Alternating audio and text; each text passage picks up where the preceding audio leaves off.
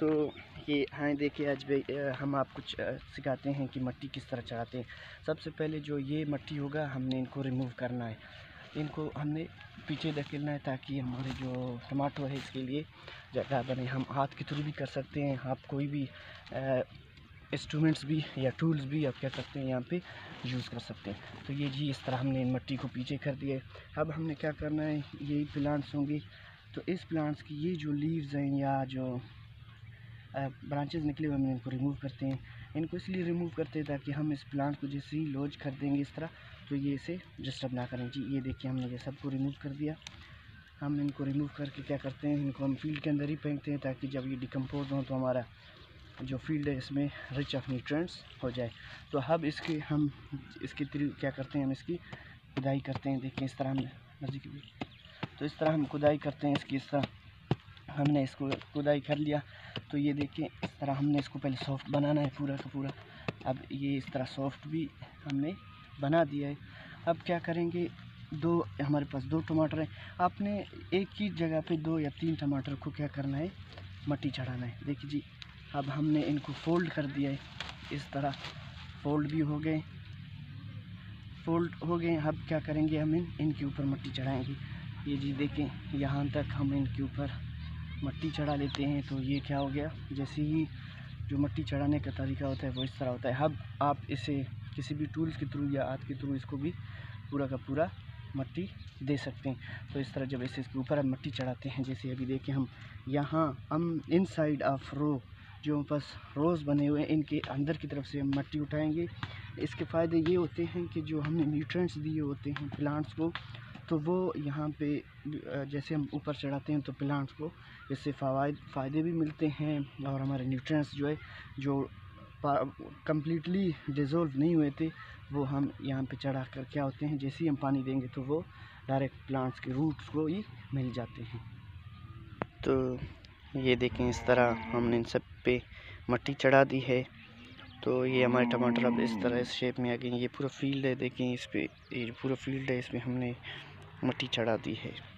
मट्टी चढ़ाने के बहुत सारे फ़वाद हैं। सोलनसिया फैमिली के मोस्टली जो वेजिटेबल्स होते हैं, हम इन्हें क्या करते हैं? इन पर मट्टी चढ़ाते हैं। मट्टी चढ़ाने से ये फ़ायदे हमें मिलते हैं। ये देखें जी कि एक तो इसकी जो प्रोडक्शन है, अगर हम इसे ऐसी फ़ील्ड में छोड़ देंगे तो जो टमाटर्स के फ्रूट्स बनेंगे, वो में भी हमारे अंदर रो के अंदर या पानी की वजह से इनको डिफरेंट बीमारीज भी लग सकते हैं।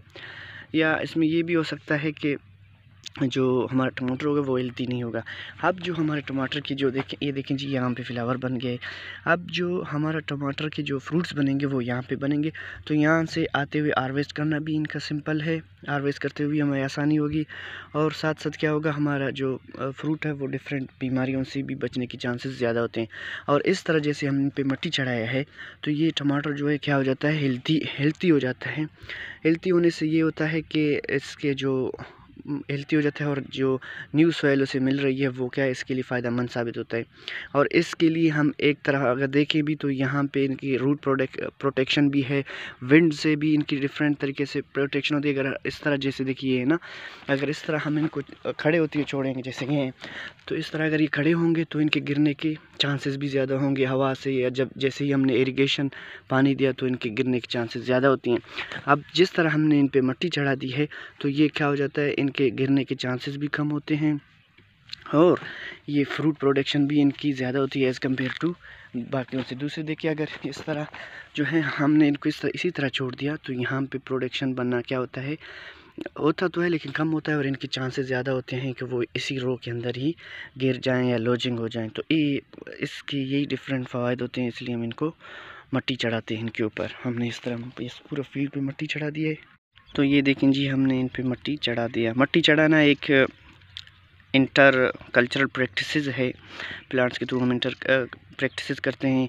मट्टी इसलिए हम चढ़ाते हैं कि इसके बहुत सारे फ़ायदे होते हैं। प्लांट्स हम और गिरने से भी बच जाता है और जिस, जब इसके फ्रूट्स बनते हैं तो वो क्या हो जाते हैं? रो से हमारा बाहर बनते हैं ताकि हम हार्वेस्टिंग के दौरान हमारे लिए आसानी हो।